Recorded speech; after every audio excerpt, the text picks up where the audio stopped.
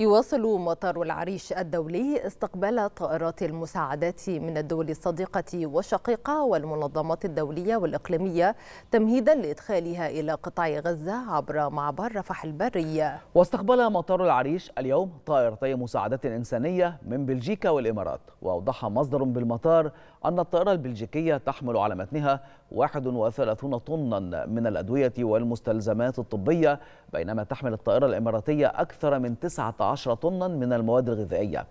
وبلغ إجمالي عدد طائرات المساعدات التي استقبلها المطار حتى اليوم 747 طائرة منها 607 طائرات مساعدات و140 طائرة وفود دولية.